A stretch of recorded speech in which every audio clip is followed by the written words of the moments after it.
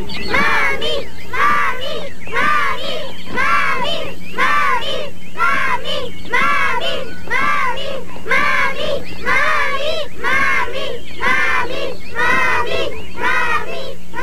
Manifestaciones de amor en el Palacio de Hierro.